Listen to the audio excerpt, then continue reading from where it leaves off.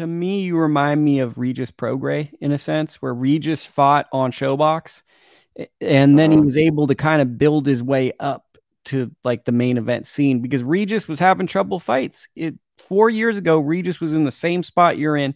You might have one loss, but he was a guy with a smaller promoter who was heavily avoided. Yeah.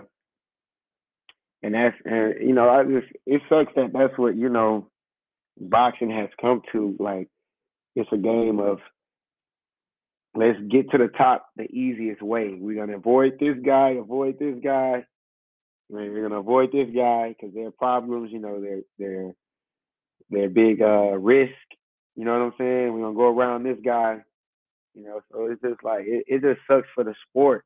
You know what I'm saying? It's like you get to pick and choose who you fight. You know, just think, just think if the NFL or NBA was like that. You know, things like, oh, we're not gonna play the Cowboys. You know, we don't match up good with them. We're gonna go around them. You know, it's just boxing is different because it's uh it's, it's such a, a business. You know what I'm saying? I just wish, you know, it wasn't like that. Unfortunately, if you could fight, you don't have a big promoter. It's easy for a boxer to duck you, you know, and, and go get the, go get somebody that got a record just like you. You know, there's a lot of guys with records 13 and one. You know, so like you said, why would they want to fight me? I'm tough. They want to take the easiest route to, you know, to the top.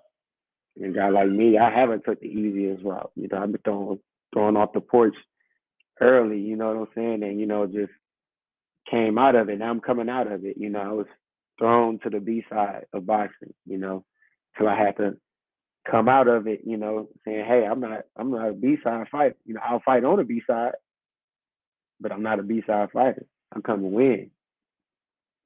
And these last eight years, like I said, I don't I don't know how to lose. You know, it just because winning became natural.